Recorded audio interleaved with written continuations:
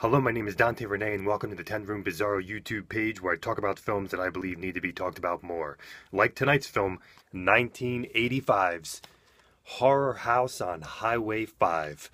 This is put out by Vinegar Syndrome, and the original release of this um, was put out on a very bare bones DVD that looked like it was a VHS type rip. Um, dark and murky at times, some things you couldn't uh, really kind of figure out, and had that about 10 years ago. And then Vinegar Syndrome goes and does this on Blu ray and DVD. This is Horror House on Highway 5, 1985. Um, there's uh, there's reversible cover art in here as well. Um, this is a film that I heard about. It was referred to me on Amazon about, like I said, 10 years ago. And it had some very interesting reviews on Amazon at the time, and I said, this sounds right up my alley. When Vinegar Syndrome put this out, um, you know, beautifully and with uh, commentary from the director and everything else. I said, I have to get this because the movie mystified me years ago and it still mystifies me today. Let's get into 1985's Horror House on Highway 5. I have some notes right above me here so you'll see my eyes divert at times. But we have essentially here a Nazi legend involving a rocket, three students, a local neighborhood, a mysterious red door, two brothers, tarot cards, black magic, a Richard Nixon mask, LSD, maggots of the brain, and it all takes place in one night. This is such a unique, interesting movie. Um, there's really no horror movie like this that I've seen. It operates as an 80s film that could have been made in the psychedelic 70s. And I don't want to say psychedelic loosely, though. What I mean by psychedelic is boundaryless, um, experimental, avant garde, um, no boundaries of logic, no boundaries of what dialogue or editing or cinematography should be, what characters should be. Again, what dialogue or conversations should be. Okay, that all goes out the window here. And then we are, uh, we are operating in a very free world in this horror film. And this is a this even expands the boundaries of horror and it expands the boundaries of exploitation and underground cinema. What a unique world this is. Um, we have shots at off kilter angles in this movie. Uh, below, from the ground up, and above, corners of a room, and even a shot under a glass table. Uh, so, so incredibly unique. Um, a red lit hallway, okay? Um, nonchalant reactions of characters and intelligently surreal dialogue and actions. You know that those nonchalant reactions from actors is key here, folks, um, because you're getting reactions, and like I said, you're getting conversations from characters that you are not expecting and that you don't normally see in a film. Dark lighting. We have editing. It the editing is like operating in another world. The scenes move together like they're from some alien planet. Uh, there are very scary shots in this film as well, tense, uh, uh, kind of shots of terror in this film.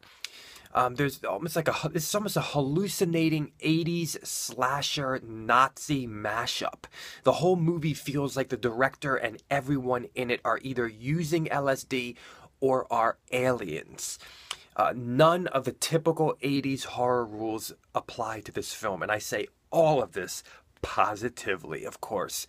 This is a very there's a very low budget vibe to this film, but it's very artistic and very late night type of vibe. If you like those those movies that have a late night type of vibe, those horror films, this is it. Why are things happening? It defies the logic of cinema. It defies the logic of movies itself. Now, you know, something that's really, really interesting in this film as well is the music. There is wall to wall music in Horror House on Highway 5. And what makes it even better is that the music is amazing. The music is diverse. The music is great. You want a soundtrack for this music. Where is the soundtrack to Horror House on Highway 5? Please. Now, there's a music video uh, as part of this uh, this Blu-ray DVD set um, that was directed by the, the uh, the director, and supposedly was the impetus for this film. Wall to wall, unreal amounts of music in this film. Uh, the, the, music is just as surreal and bizarre as the scenes and characters and story. The music is abrasively edited, moving from one song to another, and sometimes just playing a few seconds of one song. Represents all the different feelings of the movie dark, horror, atonal, oppressive, orchestrated horror, dark night atmosphere, 50s music, um, even post punk rock with lyrics reflecting the film, you know, maybe bands just for the film, strings and synth music.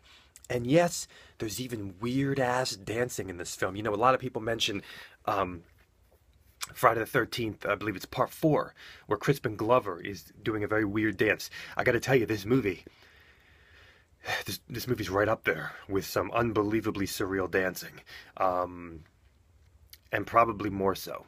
Definitely more so because of the whole context of this film. Um, we have some really, really great. I mean, I, I want to call it kind of. Um, uh, you know, post-punk rock music in this film that it, it has a real um, guitar, electric guitar driven vibe and, and, and little bit, maybe a little bit early gothy sounding. Just great, great music. Um, even in the menu screen, you'll get to hear some cues that are just really satisfying and, and uh, just pull you into this world. Um, real locations uh, were filmed in this movie. I mean, it really, it, you know, I don't see sets in this film. I mean, very low budget to begin with, but you know, real locations in California, real homes, uh, real darkness outside. Um, you know, we have we have blood in this movie. We have wounds in this movie. We have some gore in this movie, and almost like a violent snuff type vibe at times uh, yet nightmare vibes also. And there's also an element to the violence and to everything else in the film um, that has a an overblown surreal quality to it too. So while sometimes, you know, things are are ultra you know, can feel ultra you know real with the violence, we're also operating in another world where things are very outrageous, very um, very intensified and exaggerated uh, from the characters, the dialogue, the situations. And so it makes the violence also uh, slightly surreal as well. Uh, we do have nudity in the film, uh, a, a topless and some butt um, near the beginning of the film, um, and uh, with a shower scene. And when you're inside of the homes in this movie, it really has a vibe that you're inside somebody's house.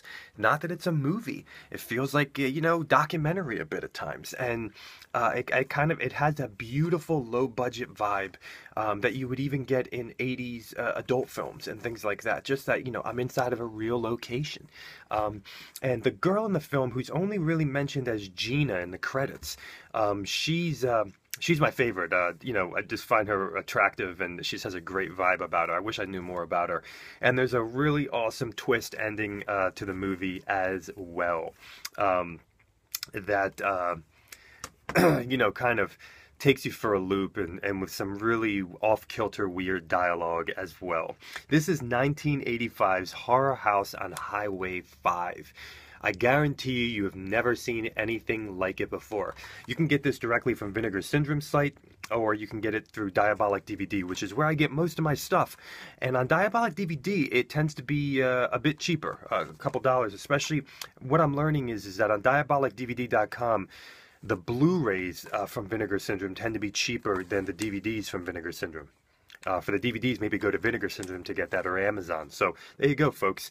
1985's Horror House on Highway 5. Thank you so much for watching the 10 Room Bizarro YouTube page where I talk about films that I believe need to be talked about more, like this one.